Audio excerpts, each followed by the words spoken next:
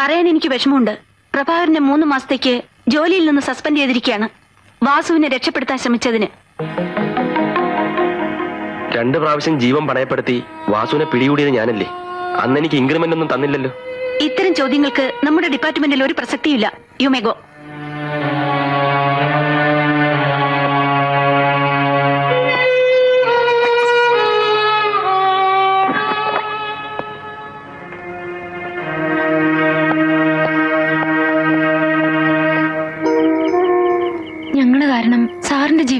ജീവിതം പാഴായല്ലേ ഇത് സസ്പെൻഷനാ ഡിസ്മിസൽ അല്ല. ഞങ്ങൾ ഞങ്ങളുടെ വീട്ടിൽ പോയിക്കോളാം. സാറ് സാറിന്റെ വീട്ടിൽ പോയി സുഖമായിരിക്കേ. ആദ്യം നിങ്ങൾ രണ്ടുപേരും ഈ സാറേ എന്നുള്ള വിളി ഒന്ന് നിർത്തണം. ഇന്ദുവിന്റെ അമ്മയെ എന്റെ അമ്മയായിട്ടേ ഞാൻ കണക്കാക്കിയിട്ടുള്ളൂ. ഈ ജോലി പോയാലും നിങ്ങളെ രണ്ടുപേരെയും പുലർത്താനുള്ള ആരോഗ്യം എനിക്കുണ്ട്. മോനെ ആ, എന്നെ ഡിസ്മിസ് ചെയ്തപ്പോ പറഞ്ഞിട്ട് ഞാൻ ഇറങ്ങിപ്പോന്നു. എന്റെ മോൻ ഈ ഉമ്മാക്കി കണ്ടിട്ടൊന്നും പേടിക്കരുത്. തുമ്മ്യാ തെറിച്ചു പോണ മൂക്ക് നമുക്ക് എന്തിനാണ് മോളെ ഞാൻ എന്തെങ്കിലും തെറ്റായിട്ട് പറഞ്ഞിട്ടുണ്ടെങ്കിൽ നീ അത് മറന്നേക്കണം. ഇത് ഇന്ദുവിന്റെ അമ്മയല്ലേ? എന്താ പേര്? ദേവകി. ദേവകിക്കുട്ടി നീ എന്റെ അനിയത്തിയ ഞാൻ നിന്റെ ചേട്ടൻ. ഇവൾ എന്റെ മോന്റെ മുറപ്പെണ്ണ് എന്റെ അനന്തരവളെ എന്റെ മോൻ കെട്ടും. ഞാൻ നോക്കട്ടെ. എനിക്കൊരു അഞ്ചു രൂപ താടാ അച്ഛൻ ഇപ്പൊ തന്നെ നന്നായി കുടിച്ചിട്ടുണ്ട്. ഇതിൽ കൂടുതലായാൽ ആരെങ്കിലും ചീത്ത വിളിക്കും. വേണ്ട. എന്റെ പൊന്നു മോനല്ലേ നിന്റെ സസ്പെൻഷൻ അച്ഛനൊന്ന് ആഘോഷിക്കട്ടാ ഇന്ന് കുടിച്ചില്ലെങ്കിൽ ഞാൻ നെഞ്ചു പൊട്ടി ചത്തുപോകും താട മോനെ.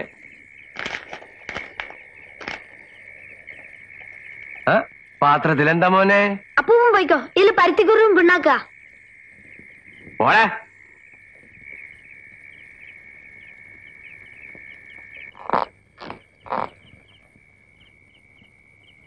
എടീ എന്റെ മോനെ നീ സസ്പെൻഡ് ചെയ്യുകല്ലടി ധൈര്യം ഉണ്ടെങ്കിൽ പുറത്തിറങ്ങി വന്ന് ഈ ചോദ്യത്തിന് സമാധാനം പറ.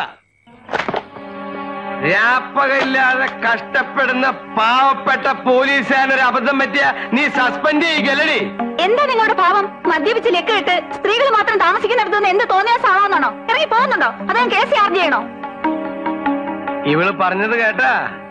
ചാർജ് ചെയ്യും പോലും. നീ പോയി ചാർജ് ചെയ്യടി. ആ കേസ് എങ്ങനെ വരുമെന്ന് എനിക്കറിയാം. നരുന്ത് പെണ്ണ്. ഞാൻ കാണാത്ത ഏത് കേസാ ഇവൾ കണ്ടിരിക്കണേ? ഇവളെയൊക്കെ ഇൻസ്പെക്ടർ ആക്കിയ പോലീസ് ഡിപ്പാർട്ട്മെന്റ് എങ്ങനെ ഗുണം പിടിക്കുക?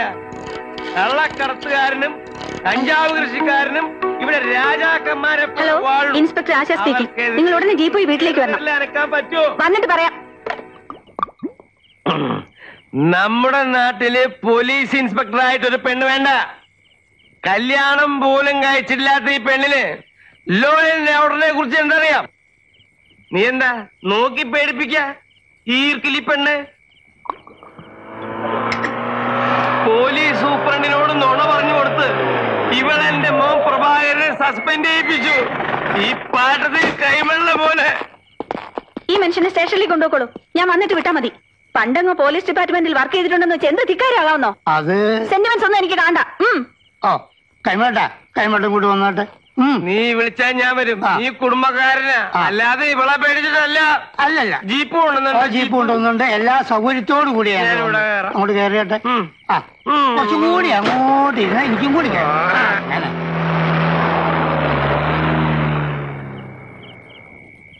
പോലീസ് സ്റ്റേഷനിലേക്കല്ല. പ്രാന്ത ആസ്പത്രിയിലേക്കാ കളവനെ അയക്കേണ്ടത്. നീ ആരോട് ഈ പ്രതികാരം ചെയ്യുന്നത്? ആ കളവനോടോ? അതോ അയാളുടെ മകനോടോ? What you mean I mean what I say പ്രഭാരനെ നിനക്ക് ഇഷ്ടമായിരുന്നു. അയാൾ മറ്റൊരു പെണ്ണിനെ വിവാഹം കഴിക്കുമെന്ന് ഉറപ്പായപ്പോ നിനക്ക് അയാളോട് ദേഷ്യമായി. പിന്നെ അയാളുടെ കുറ്റങ്ങൾ കണ്ടുപിടിക്കുക മാത്രമായി നിന്റെ ലക്ഷ്യം. ഒരു ചെറിയ കുറ്റം പെരുപ്പിച്ച് കാണിച്ച് പ്രഭാരൻ നീ സസ്പെൻഡ് ചെയ്യിച്ചു. ആ വയസ്സിനെ ലോക്കപ്പിലും ആക്കി. ആശേ നീ വളരെ ചെറുതായിപ്പോയി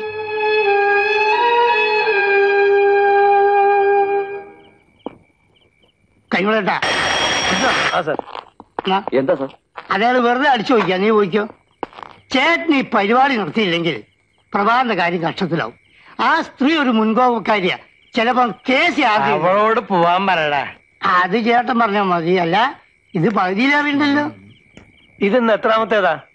ഇന്ന് ആകെ എത്ര ഫൈവ് റുപ്പീസ് കിട്ടി? നീ പോടാ. കൊള്ളാം. പോലീസ് സ്റ്റേഷനിൽ മദ്യം സൂക്ഷിക്കുന്നത് ശരിയല്ല. ആ, അതാ ശരി. ഈ ഒരു കാര്യം ചെയ്യും. ഒരു രണ്ട് ഗ്ലാസും കുറച്ച് വെള്ളവും കൊണ്ട് എടുത്തു. ഒരു ഗ്ലാസ് മതി.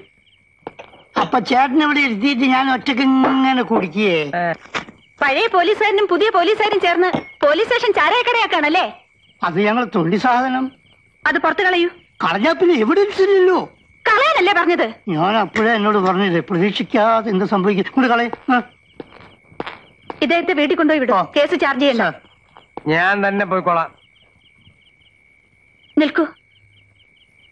ഉപദേശിക്കല്ല അതുകൊണ്ട് പ്രയോജനമില്ലെന്നറിയാം. എനിക്ക് അച്ഛനും അമ്മയില്ല നിങ്ങളെ എന്റെ അച്ഛനെ പോലെ കരുതിയിട്ട് പറയാ. ഇങ്ങനെ കുടിച്ച് നശിക്കരുത്. നല്ല ഹെഡ് കോൺസ്റ്റബിൾ ആയിരുന്ന ആൾ നാടിനും വീടിനും കൊള്ളാത്തവനായി കഴിയുന്നത് കാണുമ്പോ കഷ്ടമുണ്ട്. നല്ലൊരു ഹെഡ് കോൺസ്റ്റബിൾ ആയിരുന്നു എന്ന് പറഞ്ഞത് ശരിയാ. പക്ഷെ എന്നെ നല്ലവനായിരിക്കാൻ ഇവിടത്തെ ചുറ്റുപാടുകൾ സമ്മതിച്ചില്ല. കൈക്കൂലി വാങ്ങാതെ ആരുടെ മുമ്പിലേയും കുലുങ്ങാതെ ഇരുന്ന ഹെഡ് കോൺസ്റ്റബിൾ കൈമളെ ഇല്ലാത്ത കുറ്റം ആരോപിച്ച് സസ്പെൻഷൻ ട്രാൻസ്ഫറും ചെയ്യിച്ചു. ഞാനതിന് വഴങ്ങില്ല. മേലുദ്യോഗസ്ഥന്റെ മുഖത്ത് നോക്കി നാല് വാക്ക് ചോദിച്ചു. പിന്നെ എനിക്ക് കിട്ടിയത് ഡിസ്മിസലായിരുന്നു ആ കുഞ്ഞു ചെറുപ്പല്ലേ? ഇവിടുത്തെ കളികളൊക്കെ കാണാതിരിക്കണേ ഉള്ളൂ. പോട്ടെ.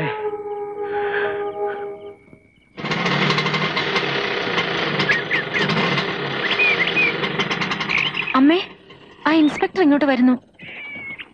അല്പം വെയിറ്റ് ചെയ്യൂ. എന്നെ മനസ്സിലായോ? ഞാൻ ഇന്ദുവിനെ ഒന്ന് കാണാനായി തന്നെ വന്നതാണ്. ഇവിടെ ഇരിക്കാൻ സൗകര്യങ്ങളൊന്നുമില്ല. ഞങ്ങൾ ഇങ്ങോട്ട് മാറിയ ദിവസമാണ് പ്രഭേഷന് ജോലി നഷ്ടപ്പെട്ടത്. നിന്റെ പ്രഭേട്ടന് ജോലി നഷ്ടപ്പെട്ടിട്ടില്ല. മൂന്ന് മാസത്തേക്ക് ഗവൺമെന്റ് തന്നെ നിശ്ചയിച്ച ഒരവധി. അത്രേ ഉള്ളൂ. എന്റെ മക്കൾ ചെയ്ത കുറ്റത്തിന് കുഞ്ഞെന്തിനാ പ്രഭാകരനെ ശിക്ഷിച്ചത്? ഞങ്ങളെ സഹായിച്ചു എന്നൊരു തെറ്റേ പ്രഭാകരൻ ചെയ്തിട്ടുള്ളൂ. തിരുത്താൻ പറ്റാത്ത തെറ്റുകളില്ല. അതിനെപ്പറ്റി സംസാരിക്കാനാണ് ഞാൻ വന്നത് ഒരിക്കലും തിരുത്താൻ പറ്റാത്ത തെറ്റ് ചെയ്തവളാ ഞാൻ. അതിന്റെ ഫലം മുഴുവൻ അനുഭവിക്കുന്നത് എന്റെ മക്കളും. അത്യാവശ്യത്തിനുള്ള വീട്ടുപകരണങ്ങളായി. രണ്ടാഴ്ചത്തേക്കുള്ള അരിയും സാധനങ്ങളും എടുത്തിട്ടുണ്ട്. ഇത്രയൊക്കെ തന്നെ ധാരാളം. നളനിന് ഞാൻ വലിയൊരു കടക്കാരനായി. ഈ ജന്മം തിരിച്ചേരാനാവാത്തത്ര കടപ്പാടും. കഴിഞ്ഞ ജന്മം നീ എനിക്ക് തന്നത് ഈ ജന്മം ഞാൻ തിരിച്ചു തരുന്നു എന്ന് വിചാരിച്ചാ മതി. ജയ നീ കൂടെ ചെല്ല്. പോലീസ് മാമന്റെ കൂടെ. നിങ്ങൾ പറയുന്ന ബേബിച്ചൻ രാഷ്ട്രീയത്തിൽ പിടിപാടുള്ള ആളാണല്ലേ? അതുകൊണ്ടാ കുഞ്ഞെ ഞങ്ങൾക്ക് പേടി. ധൈര്യമായിരിക്കൂ. എല്ലാം ശരിയാവും. ഞാൻ ഇറങ്ങട്ടെ. ഇത് വെച്ചോളൂ. ചേച്ചി അനിയത്തിക്ക് തരുന്ന പോലെ കരുതിയാ മതി. വാങ്ങിച്ചോളൂ. എന്തു ആ രൂപ തിരിച്ചു കൊടുത്തേക്ക്. ഞാനത് പ്രഭാകരന് തന്നതല്ല. ഇപ്പോ ഇന്ദു ഞാനും തമ്മിൽ വ്യത്യാസമില്ല. അവൾ വാങ്ങിയ ഞാൻ വാങ്ങുന്ന പോലെയാ. നിങ്ങൾ എന്നെ ഒത്തിരി സഹായിച്ചിട്ടുണ്ട്. അന്ന് ഞാൻ ഇരുന്നൂറ്റമ്പത് രൂപ കടം വാങ്ങി. അത് ഇതുവരെ തിരിച്ചു തന്നിട്ടില്ല. കൂടുതൽ കടപ്പാട് എപ്പോഴും എല്ലാവർക്കും ബുദ്ധിമുട്ടുണ്ടാക്കും. ഇതാ.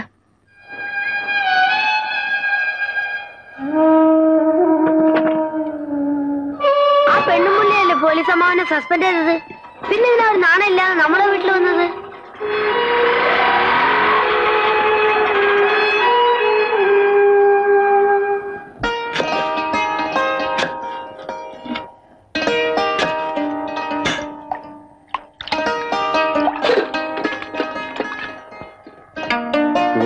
അമ്പത് അമ്പത് ഇരുന്നൂറ് ഇരുന്നൂറ്റി അമ്പത്തെട്ട് അയ്യോ. പോലീസ് അമ്മാവ ഞാൻ പോട്ടെ. ചോറിന്റെ പോണം. അകത്ത് ചേച്ചി അവിയിൽ അരിയുന്നേ ഉള്ളൂ. ഐക്കോൺ വെയിറ്റ്.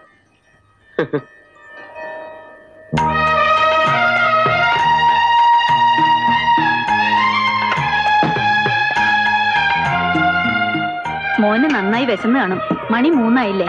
താമസിച്ചുള്ള ഊണാ ഞങ്ങളുടെ വീട്ടിലും പതിവ്.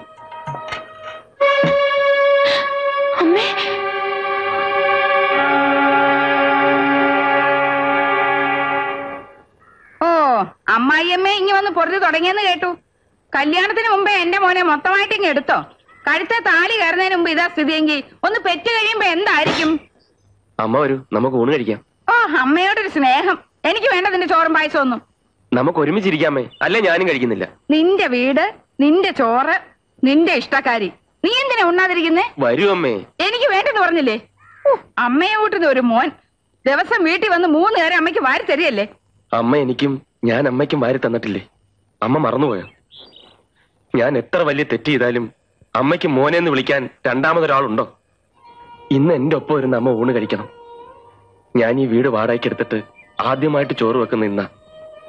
എന്റെ അമ്മയും അച്ഛനെയും കൂടപ്പുറപ്പുകളെയും ഓർത്തിട്ടാ ഞാൻ ഉണ്ണാനിരുന്നത്.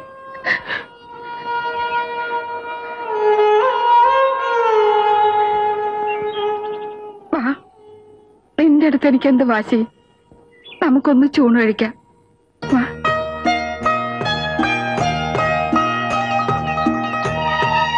അമ്മ ഇരിക്ക്. മോനിരിക്കെ ഇരിക്കെ.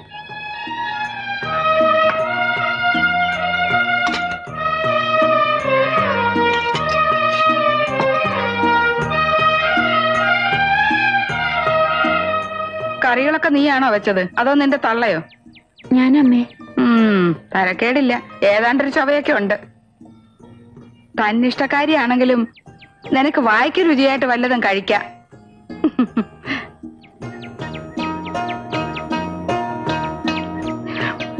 പിന്നൊരു കാര്യം. അമ്മയോടും മോളോടും കൂടെ. എന്റെ മോന് എന്നോടുള്ള സ്നേഹം കണ്ടല്ലോ. അവനെ പെട്ടിക്കകത്ത് വെച്ച് പൂട്ടിക്കളയരുത്. അതെന്തോടാ മാങ്ങാക്കറിയാണോ? ചിരിഞ്ഞിട്ട്.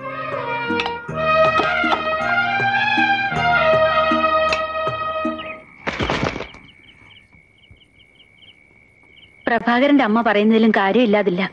നിന്റെ കഴുത്തിൽ ഒരു താലി പോലും ഇല്ല. എന്ത് ബന്ധം പറഞ്ഞാ ഞാൻ ഈ വീട്ടിൽ കഴിയാ? നീ എന്താ ആ കാര്യം പ്രഭാകരനോട് പറയാത്തത്?